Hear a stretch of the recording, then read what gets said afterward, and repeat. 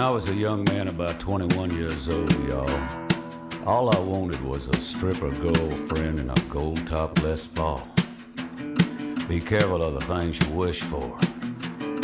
You might get them. There was a nightclub in Dallas. It's called Mother Blues. It's where Lightnin' Hopkins played and Freddie King even paid some dues.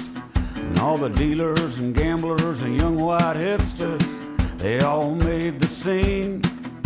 The girl at the door who checked IDs was just 16.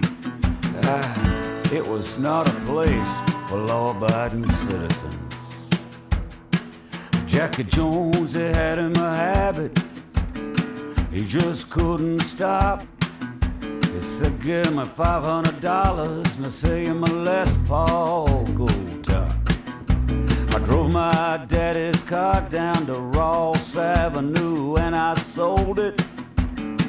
I guess I should have told him. He alluded to the police that someone stole it. It was just the first of many bad decisions I was to make for the next 20 years.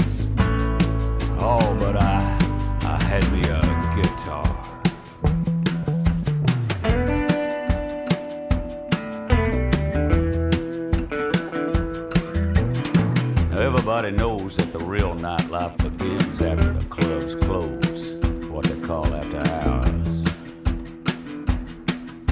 It's 2 a.m. and everybody's gone, but the band, the dealers, and Jack Jones. And then the girls from the Landing Strip Club come over after they put their clothes back on. So I'm at my blues and I'm sitting on an amp. I'm playing twist and shout. And this tall walk look like she might have to shoot her way out.